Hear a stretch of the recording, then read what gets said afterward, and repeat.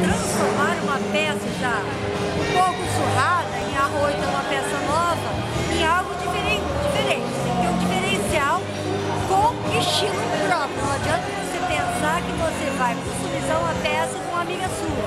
Às vezes você não consegue passar a mensagem do, estilo dela. Então customizar é uma coisa pra gente, uma coisa particular que você faz de acordo com aquilo que você gosta, usa os materiais que você gosta,